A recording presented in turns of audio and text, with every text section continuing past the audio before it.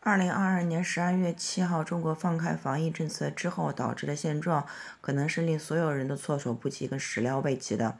当时引起了这么多严重的老年人的重症和死亡。专家一直在新闻上说这个是大号流感，轻症居多。事实上，我自己个人发烧了之后的感觉就是，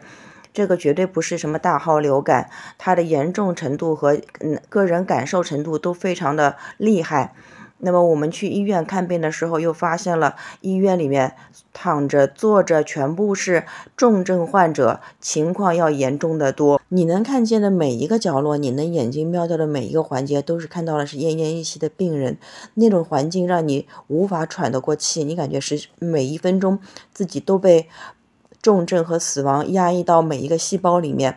我们现在都不看官方公布的数据了，重症的和死亡数据我们都不关注，因为这个和我们身边周围的感受是完全不一致的。包括我和周边所有人都有一个疑问：为什么疫情是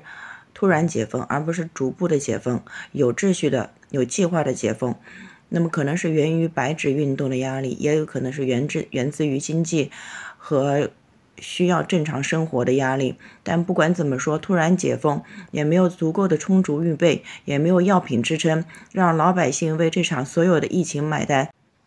现在网上说医保局因为 Paxlovid 辉瑞报价过高而导致呃进入医保目录谈判失败，我们感到非常失望，也非常担忧。我在网上看到辉瑞 Paxlovid 这个药物已经从私人渠道炒到了三万块钱一盒。那么对于我们像这种既没有人脉也没有权利更没有金钱的老百姓来说，没有药物就相当于将来要么靠运气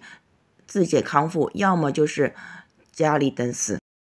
在秉持一个人民至上和健康至上原题原原题之下，辉瑞的报价哪怕是高于了医保局的相应的底价和心理价位，也应该果断的采购。为什么？因为对于任何一个家庭来讲，一条鲜活生命的逝去都不是用金钱可以买卖的。